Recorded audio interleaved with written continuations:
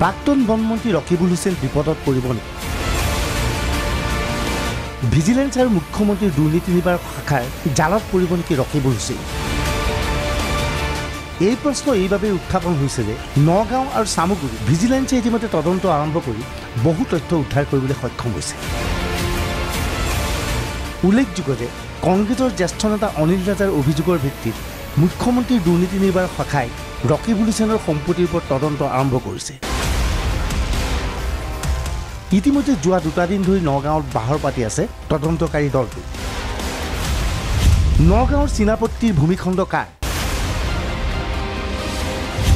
ঢাকাইপট্টিৰ বাটাৰ শ্ব'ৰুম কাৰ? All super মাৰ্কেটৰ স্বত্বাধিকাৰী কোন? খ্ৰীষ্টান প্ৰতিষ্ঠিত মেডলেব প্ৰতিষ্ঠানৰ আঁৰত কোন? জয়শ্ৰী চিনেমা হলৰ সমীপৰ মাটি কাৰ? বৃহস্পতিবাৰে নগাঁও আৱৰ্ত ভৱনত বাহৰ পাতি। ভিজিলেন্সৰ দলটোৱে এই সম্পত্তিসমূহৰ হিচাপ উলিয়াবলৈ চেষ্টা কৰিছিল। লাটমণ্ডনক মাতি নি কোনটো সম্পত্তি কাৰ নামত আছে তাৰো তদন্ত কৰিছিল তদন্তকাৰী সন্থাটোৱে। এই ক্ষেত্ৰত কি তথ্য লাভ কৰিছে এই পৰ্যন্ত ভিজিলেন্সে সাংবাদিকৰ আগত অৱগত কৰা নাই। এই ভিজিলেন্সৰ দলটো শুকুৰবাৰে ৰাওনা হয় চামগুৰি। এয়া চামগুৰি আৰক্ষী থানা। চামগুৰি আৰক্ষী থানাত বাহৰ পাতি থাকি এই দলটোৱে ৰকিবুল হুছেইনৰ বিভিন্ন সম্পত্তিৰ হিচাপ লয়।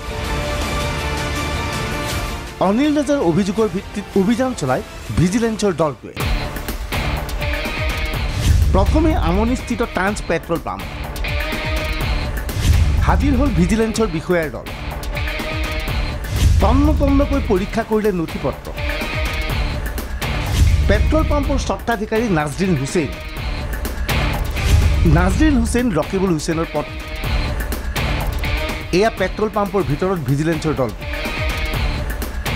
ভিজিলেঞ্চৰ দলটোৱে উদ্ধাৰ কৰে কেইটাবোৰ নথি পত্ৰ। দেখা গ'ল এই পেট্ৰল পাম্পটো আছে ৰকিবুল হুছেইনৰ পত্নী নাজৰিন হুছেইনৰ নামত। ইতিমধ্যে নাজৰিন হুছেইনৰ আলোকচিত্ৰসহ অনুজ্ঞাপত্ৰ উদ্ধাৰ কৰে তদন্তকাৰী দলটোৱে।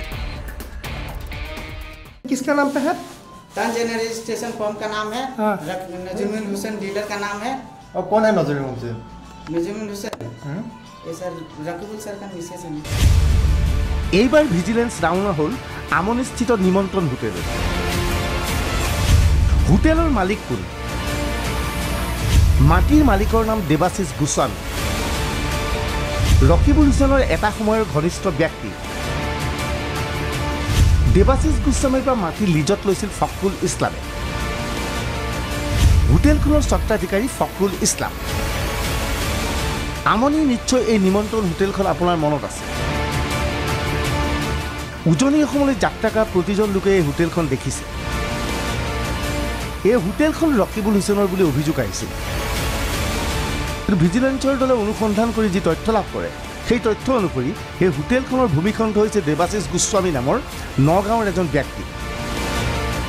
ইয়াৰ পূৰ্বেও দেৱাশিষ গোস্বামীৰ নামত ৰকিবুল হুছেইনে মাটি ক্ৰয় কৰিছিল বুলি অভিযোগ আহিছিল কিন্তু দেৱাশিষ গোস্বামীয়ে বাৰে বাৰে ইয়াক খণ্ডন কৰিছিল। ভিজিলেন্স ৰাওনা হ'ল পুৰণি গুদামৰ চলচলি ফাৰ্ম হাউচলৈ ফাৰ্ম হাউচৰ মাটিৰ গৰাকী ৰকিবুলৰ পত্নী নাজৰিন হুছেইন।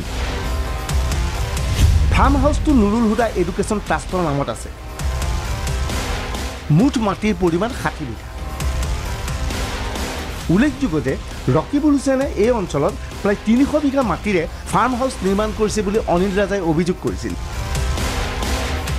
কিন্তু কাগজে পত্ৰই এই ভূমিৰ পৰিমাণ ষাঠি বিঘাহে দেখা গ'ল। ভিজিলেন্স উপস্থিত হ'ল পশ্চিম লৰিমুখত। লৰিমুখত আছে ফিচাৰী আৰু ফাৰ্ম হাউচ মাটিৰ স্বত্বাধিকাৰীৰ নাম লুৎফুৰ নেহাৰ হুছেইন। কোন নেহাৰ হুছেইন? ভিজিলেন্সৰ সন্দেহ এয়া ৰকিবুল হুছেইনৰ পত্নী। ভিজিলেন্সে এই পৰ্যন্ত পোৱা তথ্য অনুসৰি ৰকিবুল হুছেইনে বিভিন্ন সম্পত্তি পত্নী অথবা পৰিয়ালৰ অন্যান্য সদস্যৰ নামত ক্ৰয় কৰিছিল। অৱশ্যে অনিল ৰাজাই কোৱাৰ দৰে আন ব্যক্তিৰ নামত সম্পত্তি ক্ৰয় কৰিছেনে নাই সেয়া কিন্তু ভিজিলেন্সে এতিয়াও স্পষ্টভাৱে জানিব পৰা নাই। নগাঁৱৰ পৰা তপন কুমাৰ বৰা আৰু চামগুৰিৰ পৰা Bhargav Hazarika D Y three six five.